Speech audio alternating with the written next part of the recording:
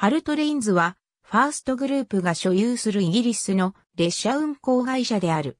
フランチャイズ制の外にあるオープンアクセスオペレーターで2000年9月に運行を開始し、2021年7月現在、2032年12月までの運行権を有している。ロンドンとキングストンアポンハルをイーストコースト本線などを経由して結んでおり、一部列車はビバリーまで乗り入れる。1999年当時、春からロンドンへ直通する列車は、ナーの春エグゼクティブ1往復のみであった。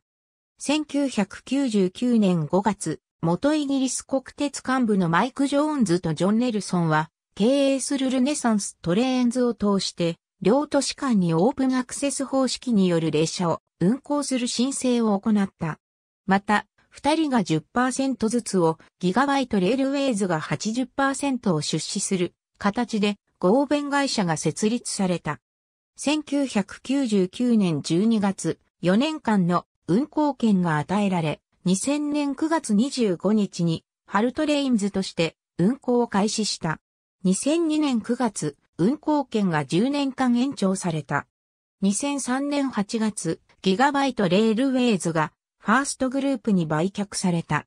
2008年6月、ハルトレインズはファーストハルトレインズと改称し、コーポレートカラーも変更された。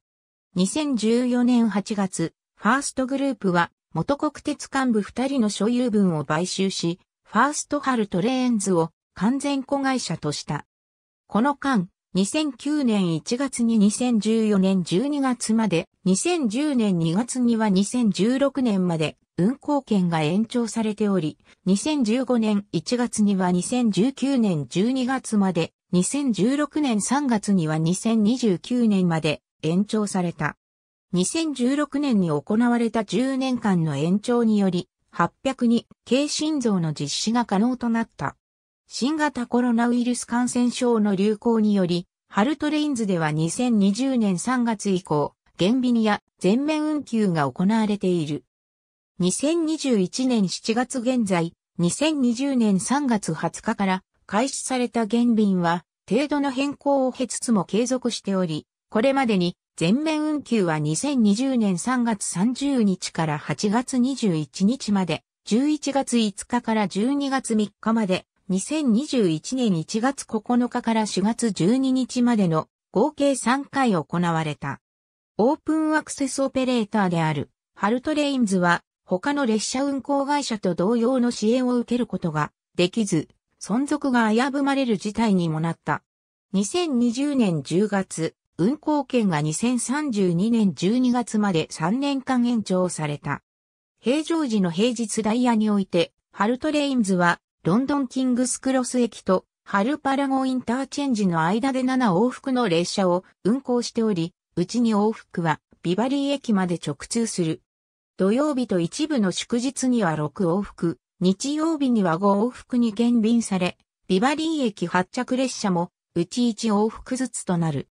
2000年9月の運行開始当初は3往復で、2002年12月、2004年5月、2005年5月、2006年12月に1往復ずつ増便を行って7往復体制となった。一部列車のビバリー駅延長は2015年に始まったもので、2月4日に平日の1往復、12月には週末にも1往復の延長が開始された。2019年5月、平日の延長列車が2往復に増便された。802系ハルトレインズは、日立製作所製、バイモード車両の802系5両編成を5本、所有し、全列車を同型で運行している。2015年9月、ハルトレインズは、日立製作所から5両編成のバイモード車両5本を600万ポンドで購入することを発表した。2019年8月には新型車両の愛称がパラゴンとなることが明らかにされ、2019年12月5日に1本目が営業運転を開始した。A 号車から C 号車が普通車、D 号車が普通車と一等車の合わせ作り車、E 号車が一等車となっており、両先頭車に車椅子スペースが設けられている。運行開始当初、ハルトレインズは同じギガバイトレールウェイズ参加のアングリアレールウェイズから170系、ターボスター3両編成4本を借り受けて使用していた。なお、2002年には170系の故障に伴い、アングリアレールウェイズの86系電気機関車とマーク2脚車がドンカスターまで代走したことが記録されている。戦略鉄道庁が列車運行会社の資産の貸し出しについての方針を転換すると、ハルトレインズは自社で車両を用意する必要に迫られ、2002年9月に170系ターボスター3両編成4本と222系パイオニア4両編成4本を発注した。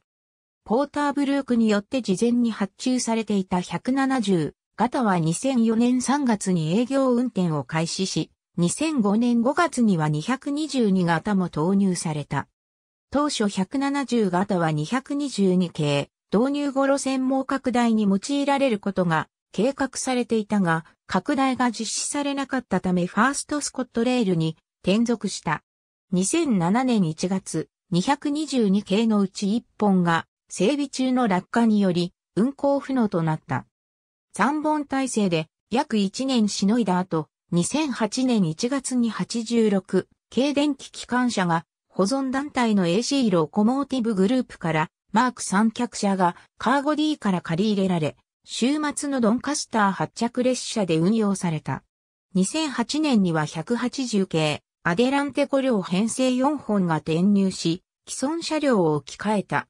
破損した編成を含め、222型は同型車両をすでに運行していたイーストミッドランズトレーンズに転出した。2019年2月、相次いでいた180系の故障に対応するため、同じファーストグループ傘下のグレートウェスタンレールウェイからインターシティ125が1本借り入れられた。その後、同年4月にはさらに1本が借り入れられた。